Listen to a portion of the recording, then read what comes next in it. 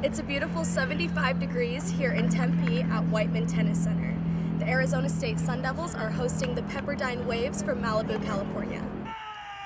The Arizona State men's tennis team had a successful Sunday after defeating the Pepperdine Waves at Whiteman Tennis Center. The Sun Devils lost in the doubles, but during the singles, the tables turned.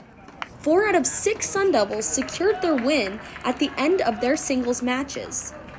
The Sun Devils who dominated within the singles matches include freshman Konstantinos Koshis, who secured his second collegiate victory of the spring season.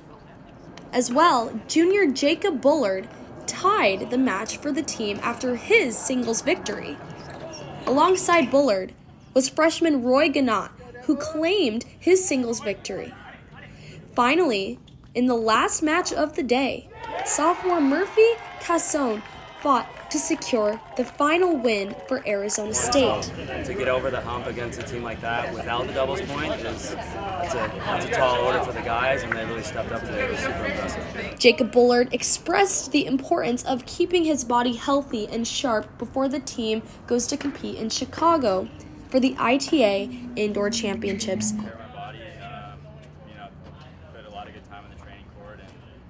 keep trying to spend as much time together as we can we play better that way. Absolutely. Yeah. With Chicago right around the corner, the men are back on the courts, ready to perfect their craft.